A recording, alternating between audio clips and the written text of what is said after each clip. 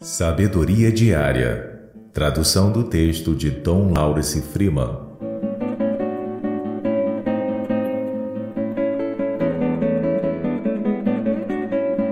O que cura as feridas da divisão é o amor. O amor une, unifica e cura a ferida do eu dividido. Supera as feridas profundas da nossa alienação. Isso nos simplifica este é o verdadeiro significado do amor a si mesmo e porque, como o Padre John nos ensinou, devemos começar por nós mesmos. Ao dizer isso, em certo sentido, ele não estava dizendo nada de novo. É o próprio ensinamento da tradição espiritual contemplativa cristã que o nosso conhecimento de Deus deve começar com o autoconhecimento, que para conhecer a Deus devemos conhecer a nós mesmos.